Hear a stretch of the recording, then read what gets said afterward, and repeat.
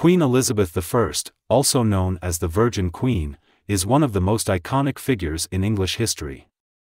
Her reign, which lasted from 1558 to 1603, was marked by numerous achievements, including the establishment of the Church of England, the defeat of the Spanish Armada, and the expansion of English trade and colonization. But Elizabeth's journey to the throne was not an easy one, and her life was marked by controversy and tragedy. Elizabeth was born on September 7, 1533, to King Henry VIII and his second wife, Anne Boleyn. Her birth was a disappointment to her father, who had hoped for a male heir, and her mother was executed when Elizabeth was just two years old. Elizabeth's childhood was marked by uncertainty and danger, as her father's marital and religious policies led to political turmoil and the execution of many of his advisers and wives. Despite this, Elizabeth received a first class education, which included Latin, Greek, French, and Italian. When Henry VIII died in 1547, Elizabeth's half brother, Edward VI, became king.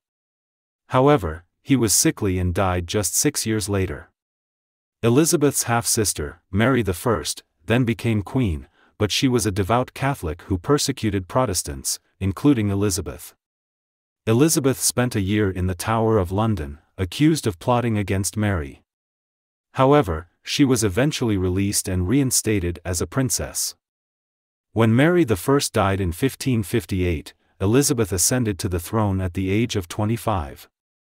Her coronation was a grand affair, but her position was precarious. She was a Protestant queen in a predominantly Catholic country, and many of her advisers and subjects were Catholic. Elizabeth faced numerous plots to overthrow her, including the famous Babington plot, which was an attempt to assassinate her and put Mary, Queen of Scots, on the throne.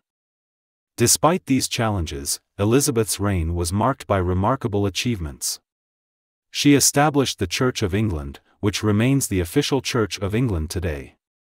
She also presided over an age of great exploration and colonization, which saw the establishment of English colonies in North America, the Caribbean, and India.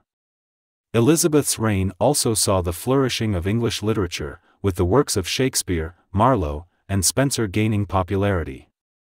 However, Elizabeth's personal life was marked by tragedy. She never married, earning her the nickname, the Virgin Queen, and her court was marked by intrigue and scandal. Elizabeth's close relationship with her favorite courtier, Robert Dudley, Earl of Leicester, led to rumors of an affair, but she never married him or anyone else.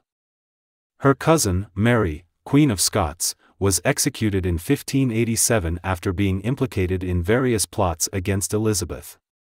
Elizabeth was devastated by Mary's death, but she had little choice but to order it, given the threat that Mary posed to her reign. Elizabeth died on March 24, 1603, at the age of 69.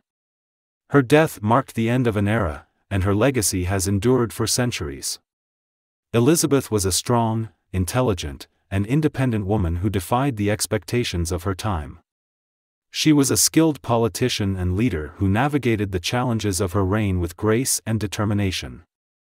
Her reign marked the beginning of England's rise to global power, and her influence can still be felt today in the country's politics, culture, and society.